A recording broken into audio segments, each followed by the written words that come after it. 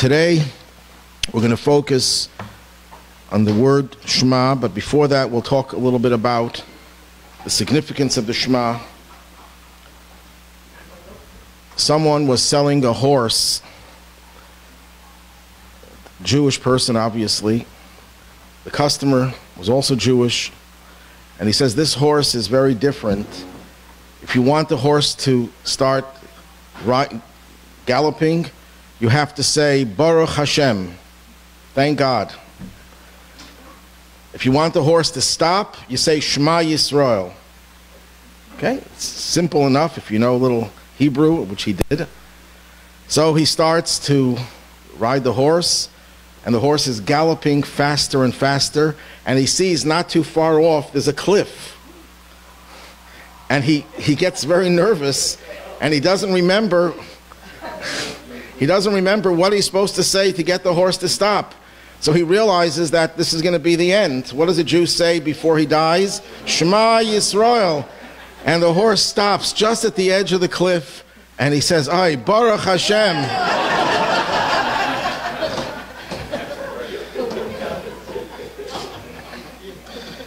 Shema is a very serious topic. it's not to be used for your horse but it does have an effect on your horse. They say when the Alter Rebbe, first Chabad Rebbe, left Mezrich, where he studied under the great Hasidic leader of Dov Ber as Mezrich, he got on the wagon and he heard one of the disciples of the Maggid say that you have to, you know, to get the horses to go, you have to whip the horses until they realize that they're horses. And the Alter Rebbe says, I'm going back to Mezrich. Because he realized that this was not teaching him how to ride a horse, but it was teaching him how to ride his own personal horse. So the Shema does have an effect on your horse.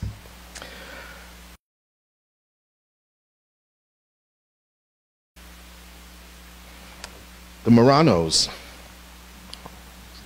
Actually, they should be called conversos. Marranos means something very negative. But many of them converted to Catholicism because they were threatened with death if they didn't, and then when they were captured practicing Judaism secretly, they would be burnt alive. But this is a story of one of those conversos who was not caught, and he's on his deathbed dying a natural death and the bishop comes to administer last rites. But he's a Jew, this, this man, so he turns away from the bishop. He doesn't want to listen to him, he doesn't focus on him. So the bishop realized what was going on, and the bishop whispered in his ears, Shema Yisrael. And the Jew turns around and finishes the verse, Hashem Elokeinu Hashem Echad. That's a story that is told. And one final story or the one before the final story. Uh, there were two wealthy landowners in Russia, and they would have different types of entertainment, and they were getting very bored. So they decide, you know what we're going to do? Each one go back home, find a real wild animal, find one in the zoo or whatever, and we'll put the animals together, and we'll have a, the animals combat each other. so one of them goes back home, and he can't find any wild animals. So he tells one of his Jewish workers, he says, Mushka, he says, he says, I want you to get dressed up like a lion. And then the Jew can't say no. He comes to the contest, they open up the, the gate, and then he sees this fierce tiger coming out from the other side. And of course, what do you do when you know your life is about to end? You cry out, Shema Yisrael. And the tiger responds, Baruch Shem Kavod Malchus Olavad.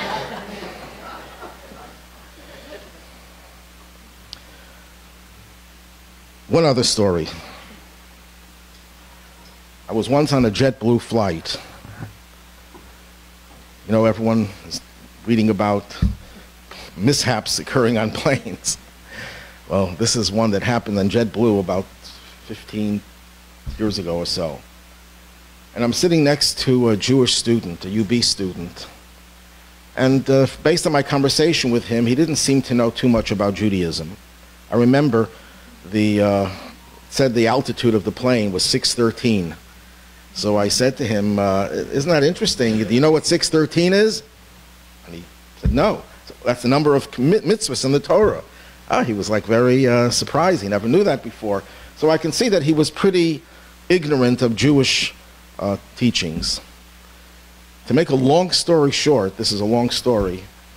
Uh, as we get up into the air, the pilot gets on the loudspeaker and says there's a little problem, minor problem, that the wheels didn't go back inside. And therefore, we're going to have to fly at a lower altitude and we're going to have to go at a lower speed. So I thought, okay, it'll take another 15 minutes, big deal. Then, as we're uh, traveling, it says the speed was 358. I said to the student, What is 358? And he says, I have no idea. Well, this most people wouldn't know. And I said, That's the numerical value of the word Mashiach. And he was like, oh, Nice to hear that. I remember saying, I think this is going to be an interesting flight. I didn't realize how interesting it would be because as we got closer to the destination, to Kennedy Airport, the pilot gets on and he says, You know what? Uh, we don't know if the wheels are straight or crooked. If they're crooked, we're going to have to have a crash landing. We'll only know as we get closer to the airport, and other planes will be able to tell us if the wheels are straight or crooked. And uh, meanwhile, you have to prepare for a crash landing. And the, the pilot says, I've been flying planes for 20 years. This is once in a lifetime experience. You can imagine the confidence everyone had. Meanwhile, I, I was sitting in the aisle seat, the student was sitting in the window seat, and I noticed, I didn't notice, but he told me, because I was looking in his direction, he was looking towards the outside, that people were crying. Tears were streaming down people's faces. And I turned to him and I see him crying as well. And he's reciting Shema Yisrael. Here's a student who knew very little about Judaism, but I wasn't saying Shema Yisrael, he was saying it. So, but thank God the plane landed safely and a few explosions occurred, but everyone got out safely.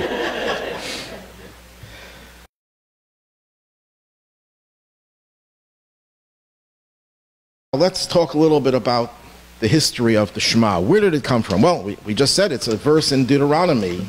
Yes, but according to our sages, according to the Talmud and the Midrash, it actually goes back before that, and that's text one.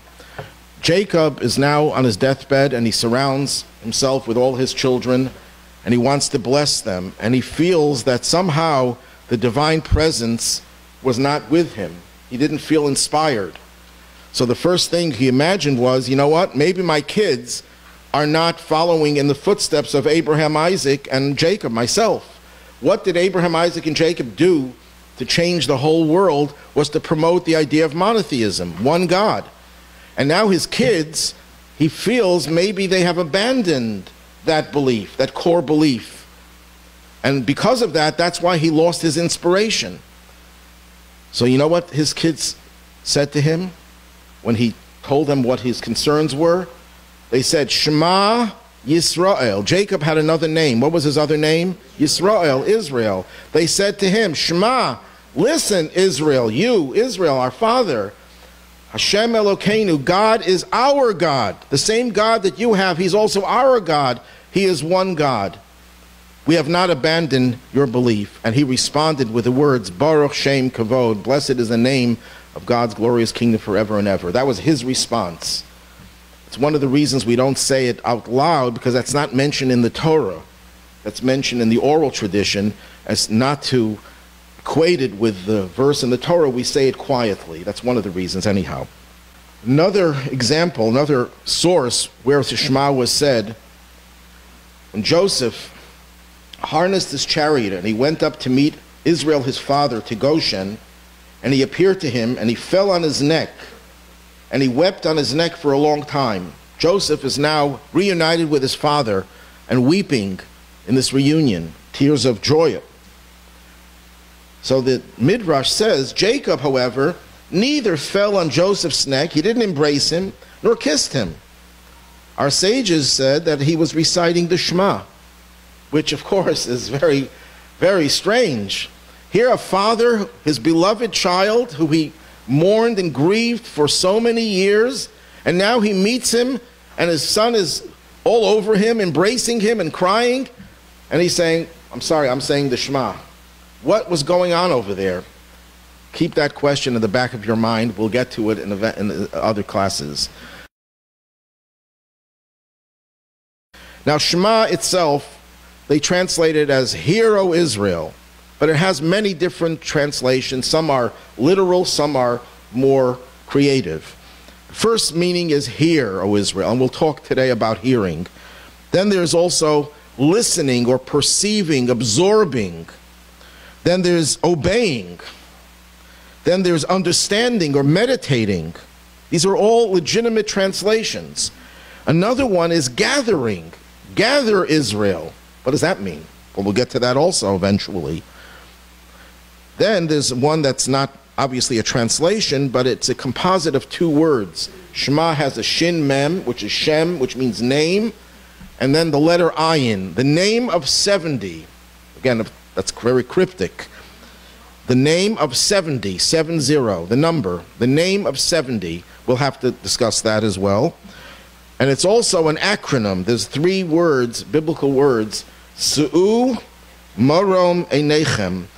Su means lift up, Marom to the heavens, Einechem your eyes. And the end of the verse is, and you shall see who created all of these.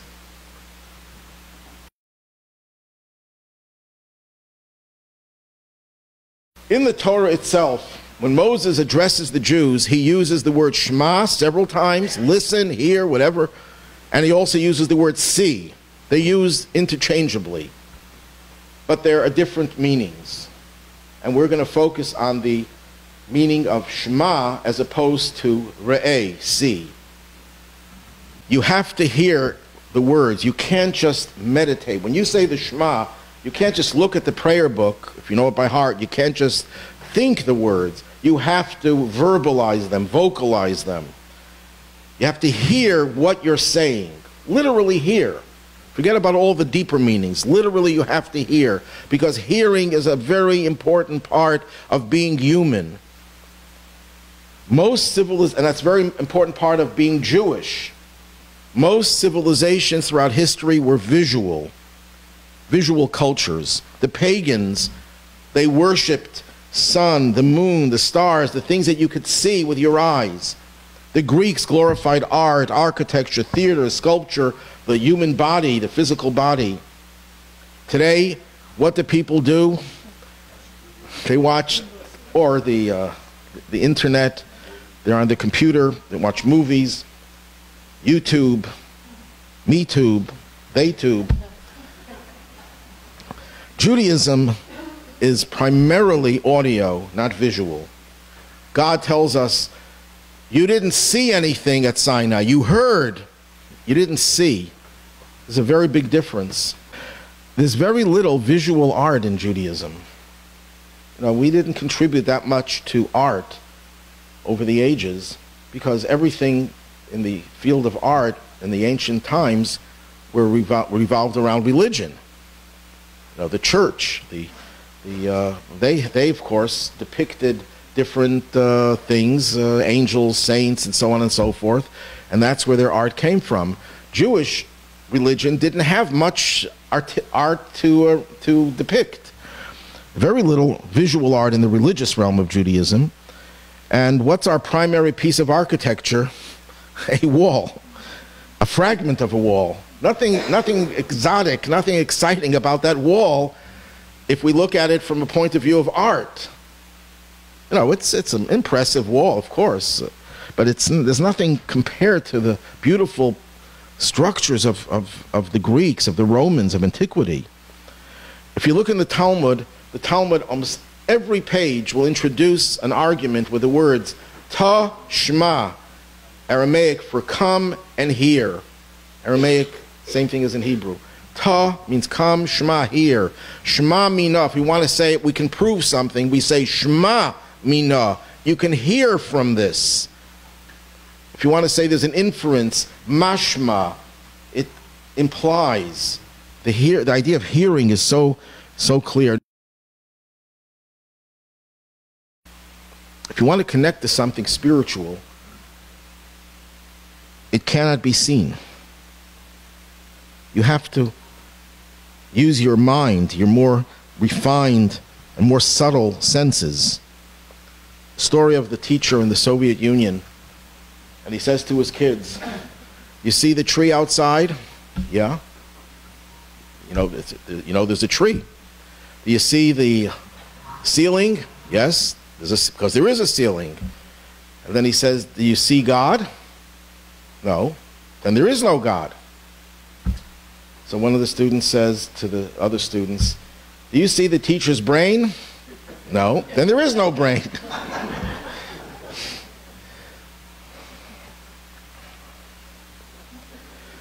we had a guest a number of years ago who were working for the State Department in Nigeria.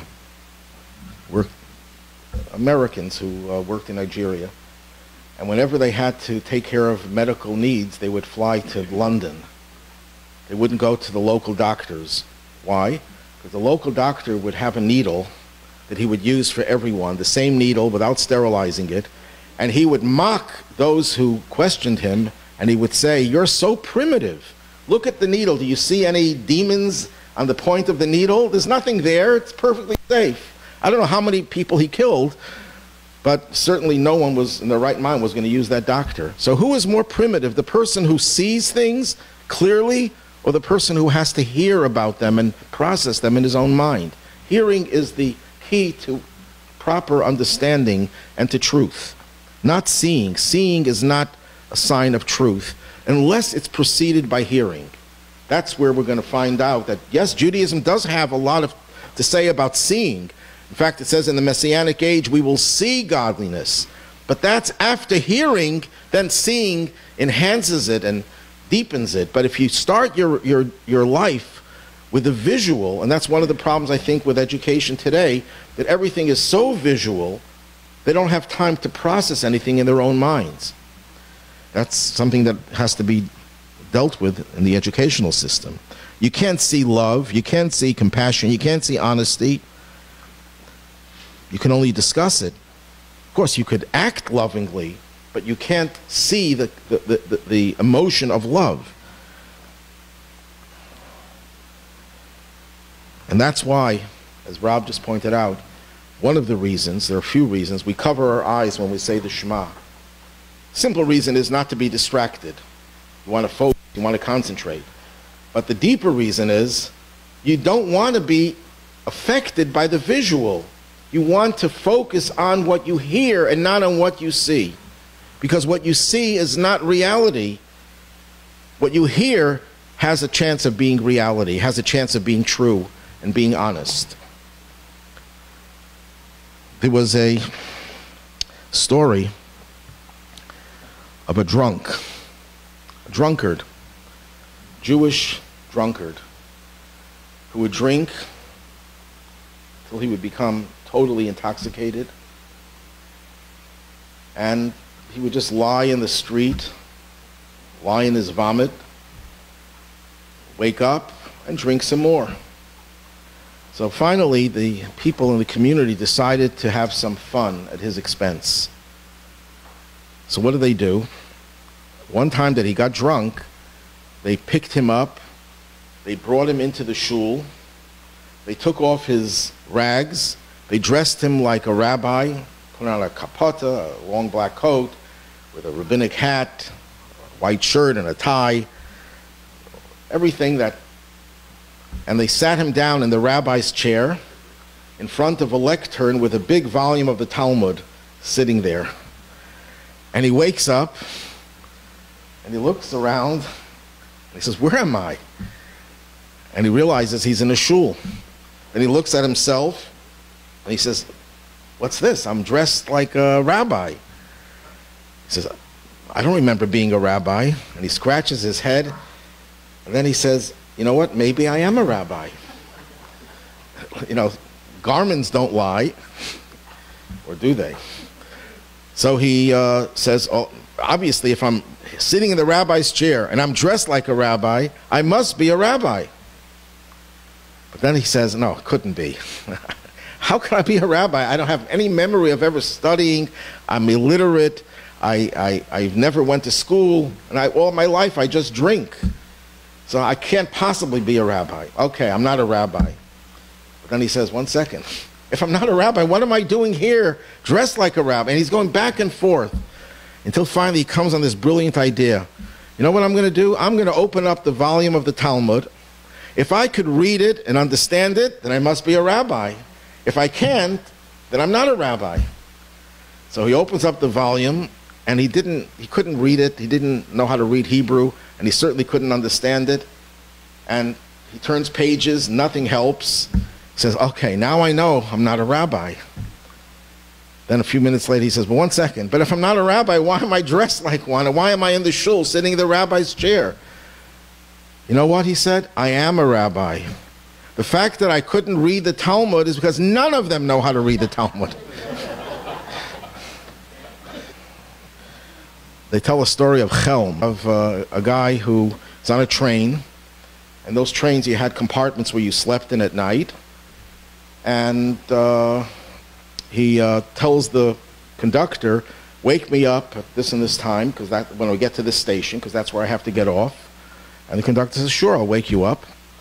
And he gets undressed. He puts his clothing down near his compartment, and he goes to sleep. Meanwhile, a general gets on the train, and he's in the next compartment. And he also goes to sleep, and he takes off his clothing, his uniform, and he puts it down next to where the Chelmite had his clothing.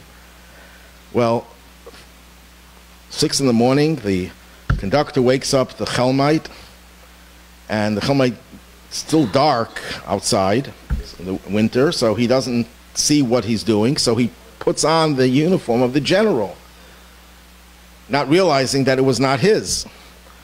And then he comes home, and his wife looks at him and says, What's going on here?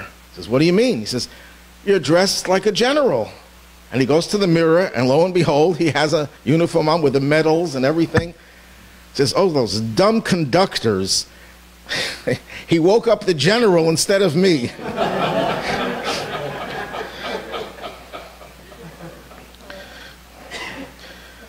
so, we are the drunkards or the Chelmites. You take your pick.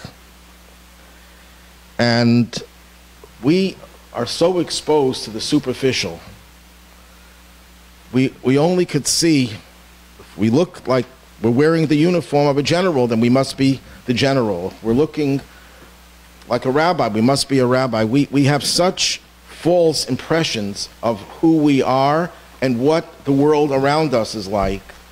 When you say the Shema, the first thing, forget about the deeper meanings, the first word already allows you to penetrate the cover and say, Shema, open your ears Stop focusing on what your eyes see and deceive you because your eyes will tell you you're something you're not.